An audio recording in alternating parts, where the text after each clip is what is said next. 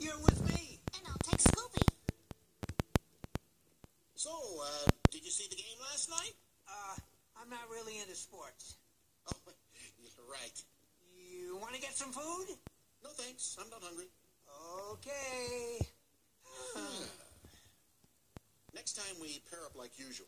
Good plan.